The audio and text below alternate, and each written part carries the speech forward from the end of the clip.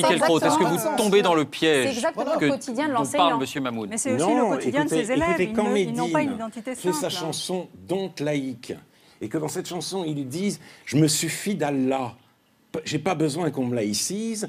Il réagit pas au discours que je pourrais tenir. Il affirme quelque chose, quelque chose de puissant qu'il faudrait entendre. Et je voudrais rappeler que dans les territoires pas perdus de la discours, République, il ne s'agit pas seulement d'antisémitisme ou de misogynie, il s'agit aussi de francophobie. Il y a une, un, un élève dans l'Essonne, nous sommes en 2002, qui change euh, de collège, qui passe d'un collège privé euh, à, euh, au collège public.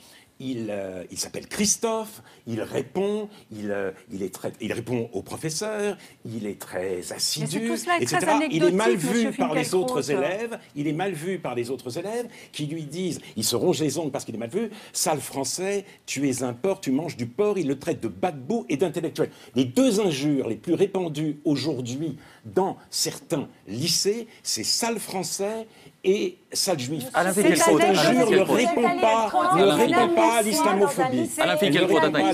Monsieur, Mahmoud, attendez s'il vous plaît, Madame de Monsieur Mahmoud, ce qui